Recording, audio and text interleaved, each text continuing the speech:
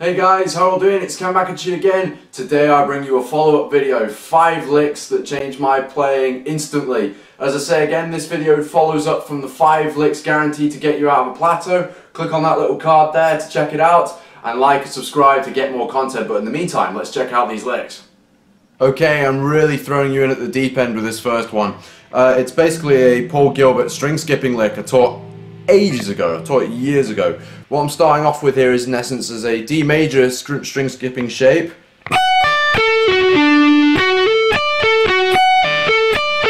Then it goes to diminished. Then it goes to E minor.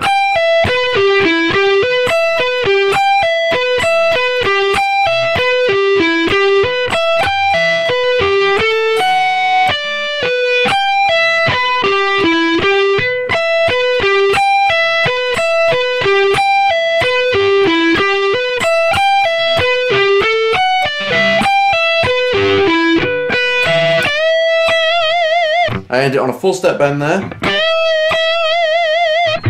Now a really cool part I like to mix in here is a really interesting sort of octave lick here.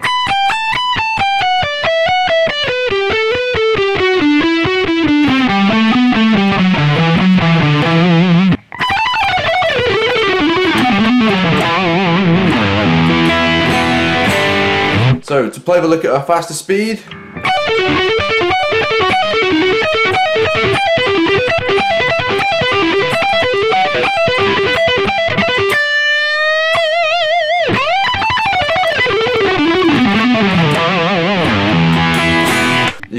mix them up with different shape.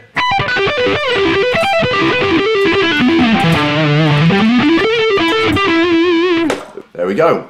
Okay, lick two is a lot of fun. It is a Steve Vai sweep picking lick.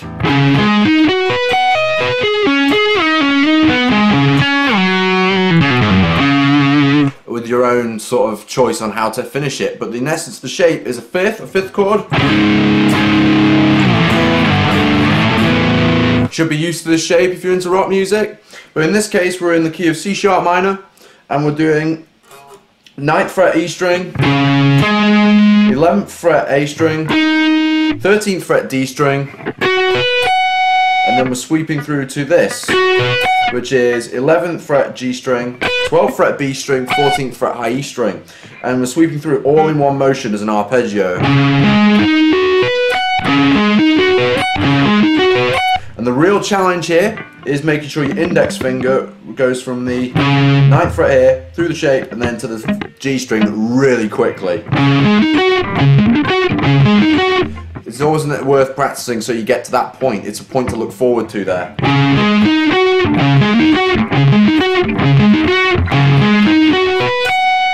Now once we've reached the 14th fret of the, of the E string, go to the 11th fret, 12th fret of the B string, then we've got 11th fret, uh, sorry, 13th fret of the G string. Then we go to, then we go to the 11th fret of the D string. Then back to the 13th fret of the G string. And this gives you the option to do loads of things. You can slide back through into different scale shape. I slid to the uh, 6th fret of the G string. You can do whatever you want here, uh, but also it teaches you to slide and connect different shapes. So I'll just give you a little idea of what I do, and I'll leave you with that one. So.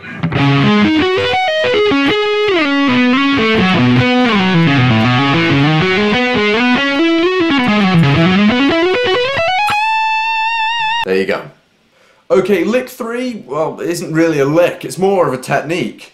And I think it's so overlooked on YouTube and overall in the guitar community, and that is finger flattening. We're sticking in the minor pentatonic scale for this, just to prove a point, and for the sake of variety, I'm in B minor.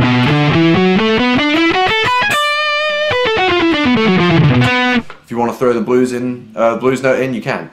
And what I find really cool with this is it's basically this finger flattening idea that kind of idea. I just use hybrid picking there to accentuate it.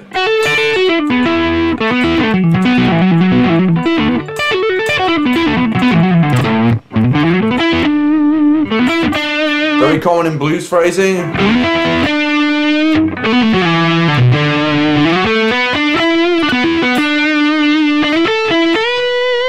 It's a great way of connecting um, the various parts of the scale, but you can use it in all sorts of places.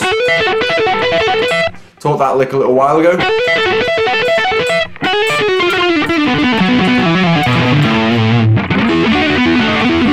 That's a, that's a Zakk Wylde thing there.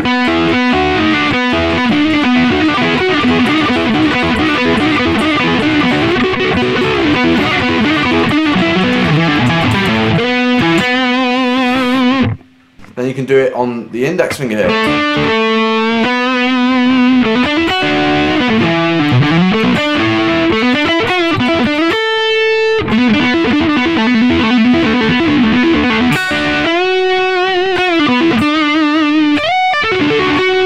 Connect it to lick one there.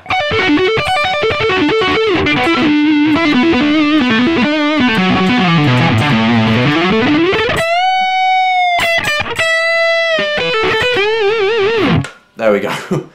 okay, after having mentioned Zakk Wylde in passing, I bring you a repetitive lick that's really, really useful, even if you don't use it or depend on it. Uh, and it's in essence a Zakk Wylde pentatonic repetitive lick.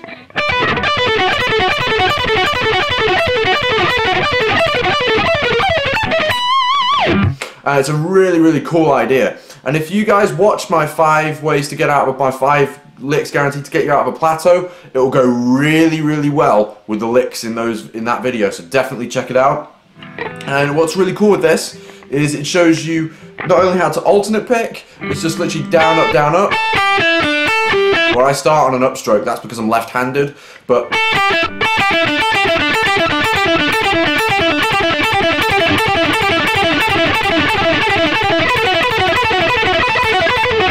There you go, that's the next step ahead where you do the whole no more tears thing. And then you can combine it with lot wider shapes.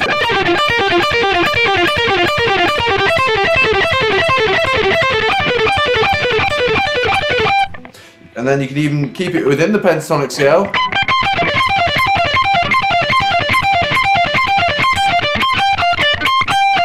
That's uh, the basic, the basic minor pentatonic shape, but you're extending your little finger up uh, two frets from the highest note in the scale.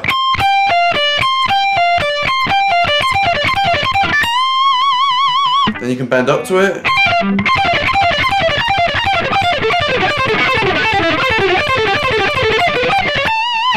Ask Sam Coulson, he knows all about these licks. Okay, for this last part of the video, I'm going to show you my secret to building speed generally.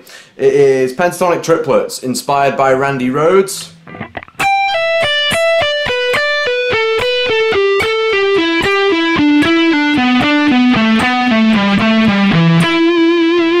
Or if you want to play Chinatown by Thin Lizzy, it's just the position above.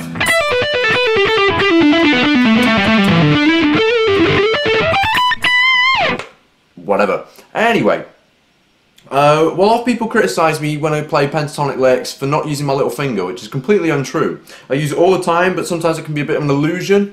On camera, it still looks like I'm using my ring finger there, despite appearances.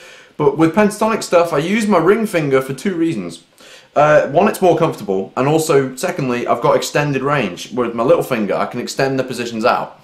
And if you saw the intro to the last video, uh, five licks guaranteed to get you out of a plateau, which I cannot stress enough. Please watch it. It's dead good and really useful. Uh, there's a really cool part in it at the beginning where I play...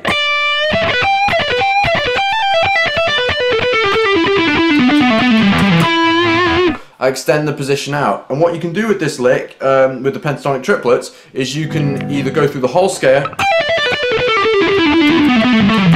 really, really quickly like I did, or you can do this, which is really, really cool. You can either turn it into a repetitive sequence to build tension in a solo, which is really, really cool. Uh, Randy Rhoads does it in Mr. Crowley.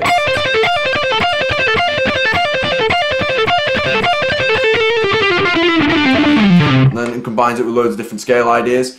You can even extend the position out with your little finger and abandon the traditional shape altogether and connect two up. So you can do this.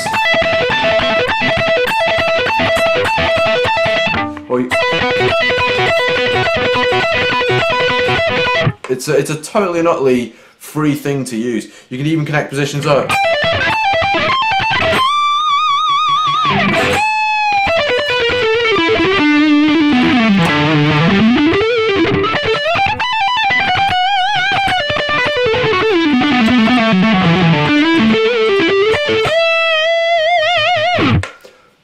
There we go, I digress. That's my secret, pentatonic triplets. There we go.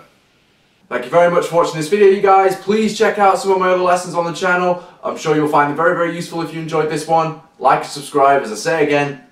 See you again. Cam signing off.